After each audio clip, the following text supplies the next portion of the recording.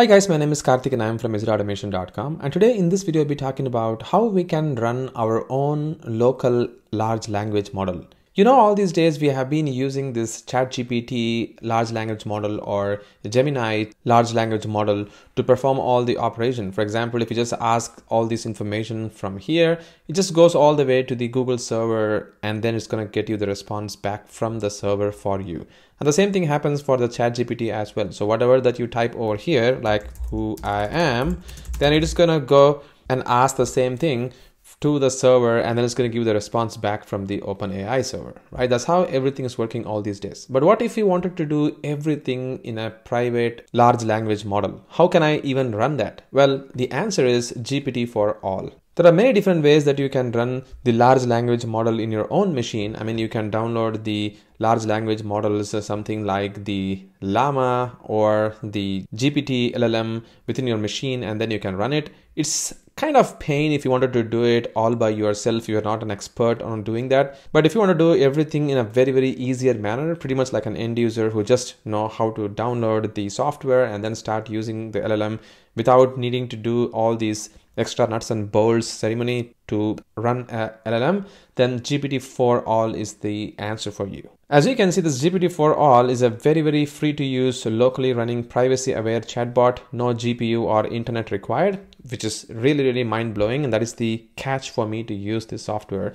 And I can see that it can run on any CPU as well. You don't really need any specific CPU architecture to run this particular large language model all you have to do is you need to download the installer like Windows or OS X or Ubuntu and then you can start using it as like a Visual Studio Code or like a notepad that you can do it. So I have my Mac operating system over here and I have already downloaded this particular GPT4All within my machine and I have installed it. I will quickly show you how this particular GPT4All client looks like. So if you just go over here, this is the GPT4All client and it does show you in the home page that you need to download models. So you can see that it supports Mistral, Falcon, Llama, Llama 2, MPT, Replit, and many more. And if you just go to the download models, you will see that it will be presenting you the Llama 3 Instruct and there are many different models. And if you're going to be using the ChatGPT 3.5, then you need to use the API key over here. And similarly for GPT-4, you need to specify the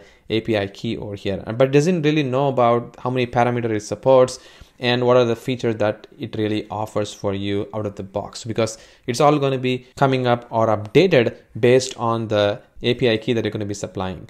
But as you can see over here, the Llama 3, which is from the Meta or Facebook, it is trained by them. So it has parameters of 8 billion and it is something that you don't really have to specify any API key or something like that. You can just use it freely. And the same thing goes for this particular version as well, like Nous Hermes.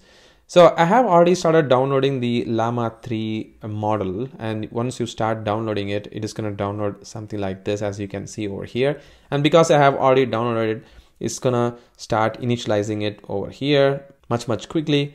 And once it is ready, then we can start using it pretty much like the normal chat GPT within our local machine without even having to have any internet access. So I'm just going to go and close this window over here because it has already downloaded the Llama 3 instruct for me. And guess what? I'm going to turn off my internet this time. Over here, it's done. And I'm completely off grid right now. So if I just go to the browser and then if I go type, let's say chatgpt.com, you'll be saying that you're not connected to the internet, which is cool. So it's not connected. And now I'm going to go and ask for some of the question. For example, tell me the evolution of human being.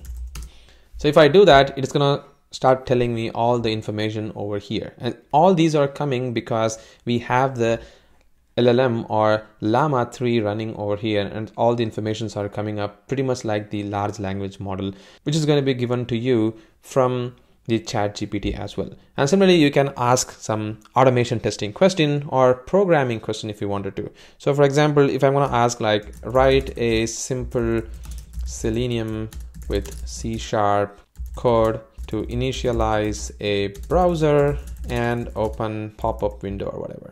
So if I do that, you'll also notice that it's going to start writing the program for me behind the scene. So this is pretty cool. As you can see that it has generated the entire code for me over here and it's also showing me some of the coding responses. You can keep on asking more questions from here on. I'm not going to go deep into like how all these question and answers are going to work, pretty much like how the chat GPT does, but you'll also notice that it has exactly the same kind of familiar UI. So the history of the chat is going to be recorded over here on the left hand side and then you can also create new chats from here. So this is pretty cool. It is something which is doing pretty much like the chat GPT, but it is all personalized model. So you're not going to go and connect to the internet, but you're all doing everything in your local machine. And one more thing about this GPT4All.io provides to us is the local document support. So what does that really mean? So if you just go over here and hit this particular database icon over here, it's going to show you the local documents. So what does that really mean? Basically, it is telling you that you can use your local document as the model for you to be processed to get the responses back. So if I just go and hit this add and remove, it's going to show you that local document collection. So this feature requires a download and text embedding model in order to index documents for later search. So you need to download this SBERT text embedding model for performing this operation.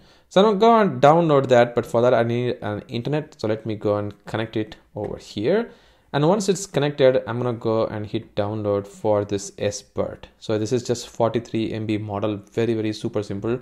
It's downloaded already. And now I can see that this local document collection is going to show me a different screen altogether. Guess what I have did is like I have already downloaded a simple PDF file from Microsoft which is gonna be showing me all the details of the ASP.NET Core and it is like 205 MB so you can see that it has quite a lot of pages over here and you will notice that it is almost 208 pages. So now we can use this document as a reference for your model to perform the rest of the operation. So I'm going to use this model over here and we'll see how it works. So I'm going to go uh, browse this particular documents. I'm going to go download and document and then going to go to the collection name. I'm going to say that's going to be a local ASP.NET document and I'm gonna hit add and this is gonna start indexing right now. So once I hit this close over here, you see that it is gonna be starting to do the embedding and once the embedding is done, it is also gonna start doing the indexing for me behind the scene. So this way I can use this document, the downloaded .NET document for my local questioning and answering purpose. And this is going to be happening based on the model that I have downloaded, which is nothing the BERT model that I have downloaded. So it's currently doing all these operation for me behind the scene. While that is happening, I can just go and choose this particular document over here and then I can just close this guy over here. So I'm gonna go and hit this new chat. And now if I try to interact with this particular document that we have got, I'm gonna go and choose this particular database icon over here and you see that the local ASP.NET is actually still indexing for us. And if I go and choose this checkbox over here it's going to give you the warning saying the searching collections while indexing can return an incomplete result. I'm still going to agree this particular warning and I'm going to go and start chatting based on that.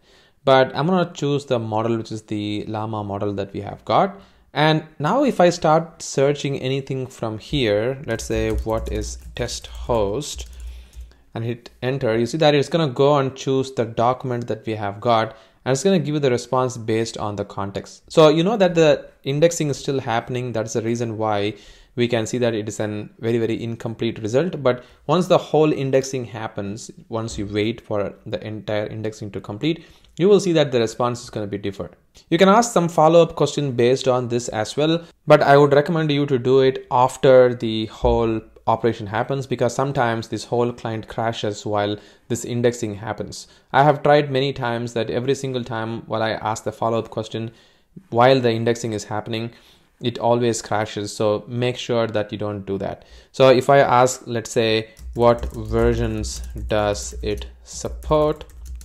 And if I hit enter you look at that it's currently crashed and this particular chat quits unexpectedly comes up over here so this is fine because you don't have to do it during that particular time I mean this is one of the issue that we have got with this particular GPT4All that we have got. But at least now you have got the idea of how we can make use of the uh, GPT over here, which is nothing but the chat GPT alternative to run in our local machine and even use the document that we have got to use as a context to perform the operation. So that's about it guys. Hope you like this particular client and you can also use it with different models. I mean i really like the matter of fact that we can use many different models with this particular client. And the good thing about this particular client itself is that you can keep updating the model once there is a new model being released. So once there is going to be any update from the model you can also refresh this particular model and then you can use it from there.